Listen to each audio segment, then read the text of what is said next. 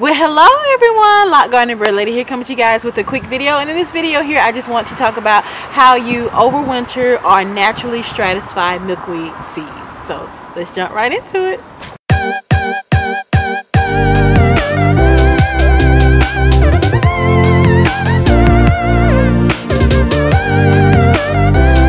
So excuse my energy in this video. I have keto flu. so my body is in full ketosis right now and it just is, is, is a little in shock. So I have keto flu. So I'm going to try to keep my um, energy up as much as I can. But I feel horrible. So um, just please bear my energy. Um, I apologize for my energy in advance if I'm a little low energy or not like myself today.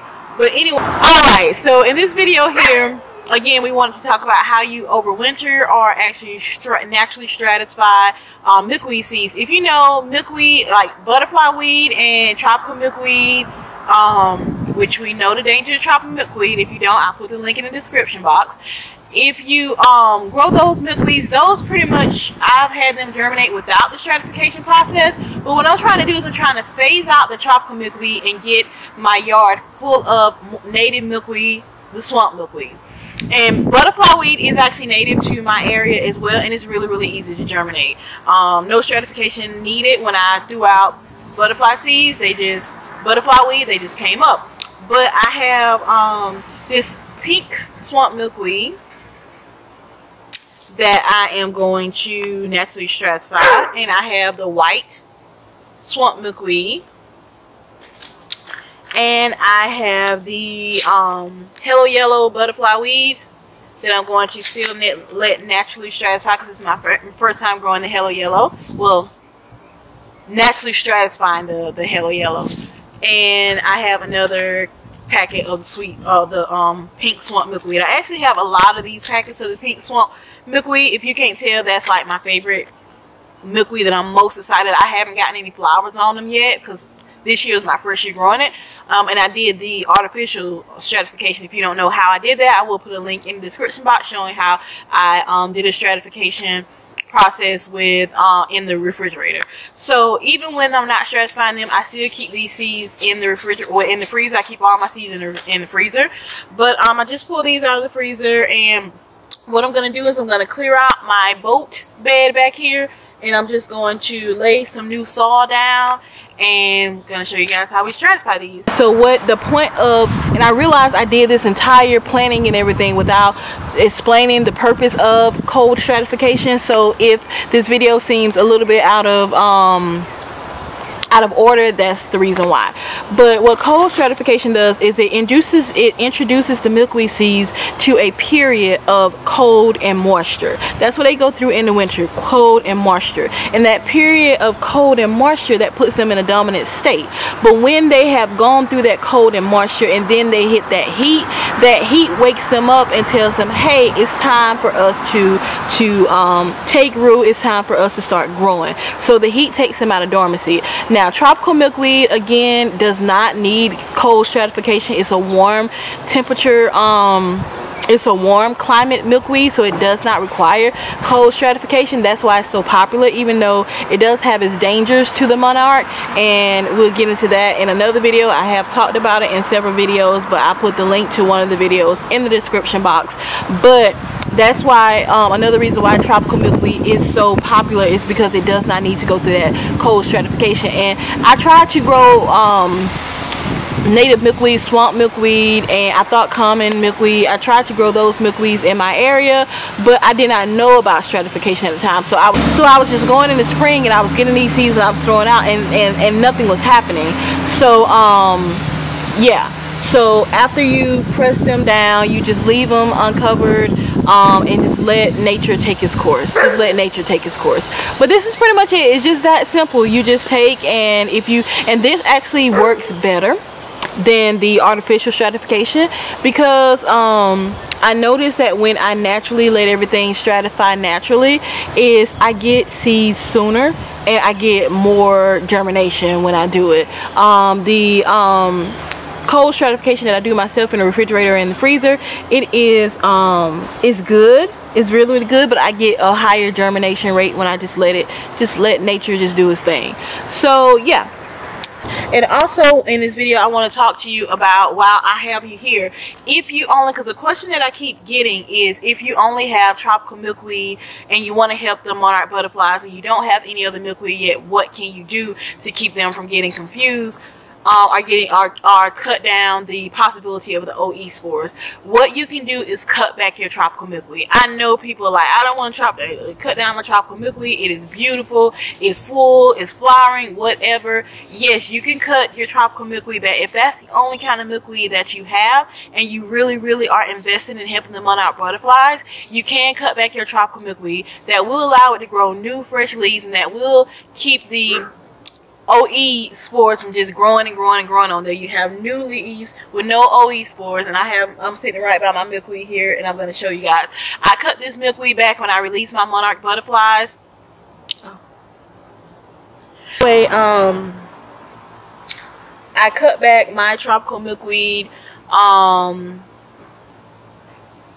when I released my monarch butterflies, and I believe that was the beginning of August um, or in the middle of August. I don't know. I have to look back at the date on that video. But when I released my monarch butterflies, I actually cut back my tropical milkweed because I did not want them to stay in this area. Because right now, as you can see, I have a duster on. So it's kind of cool here. And if monarchs would have gotten trapped in my area because I have all this tropical milkweed growing, then they, they would have died trying to get back south. So um, cut back your milkweed. If you have tropical milkweed, it's a fall. Cut back that milkweed so the monarchs will not get confused and I'll do another full video on what you can do if you only have tropical milkweed. But let me show you guys if you are feeling funny don't want to cut back your tropical milkweed let me show you guys what happened to my tropical mil milkweed after I cut it back a month ago. So let me show you that. So right here you have tropical milkweed that I cut back one month ago and look how full that tropical milkweed is. And look how green and plush it is. It's only three milkweed plants in here, but it is so just tremendously full. And these leaves are absolutely beautiful. So if you are afraid to cut back your tropical milkweed, have no fear, they will grow back. And it's not a fluke. I'm just going to show you the other containers, a couple of the other containers. That's one right there, another one right there and that's um, where I cut those back last month as well. And then we have another container right there where I cut that, that back. That's tropical and swamp milkweed. I did not want to um, not cut back the swamp milkweed as well. I don't want any kind of OE spores or I didn't want them to get confused at all. So I cut it all back. And you can see over here,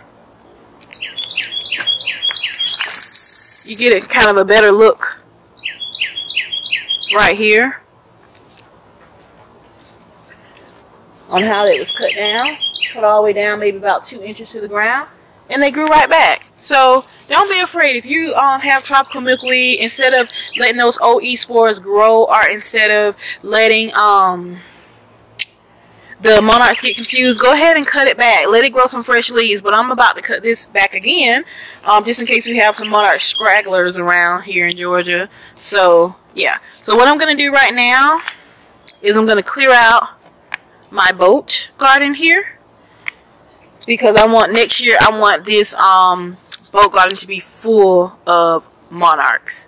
Nothing but milkweed, maybe some stevia or some zinnia somewhere. As you can see, my zinnias, they're just growing like crazy. But I have, uh, I still have some bees because I have cucumbers over here and peas in my garden and a lot of things that, a lot of other things that they can use to get their, um, pollen and nectar from. But I'm just going to clear out, um, everything in this boat garden. So yeah, let's do that.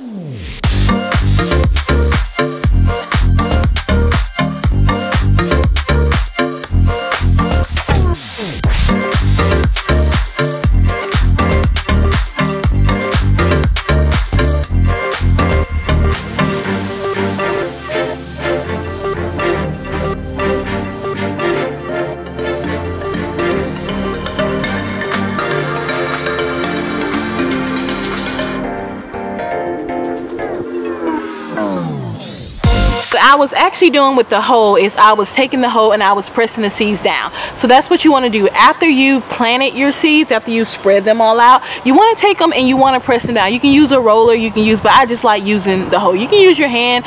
Um, some people like walk on them or whatever, but I mean, I'm 220 pounds so I ain't finna be jumping in no boat walking on no seas but um anyway um I was using the hoe to press them down. So that's what you want to do. Once you plant them, you want to press them down, and that secures them in the ground.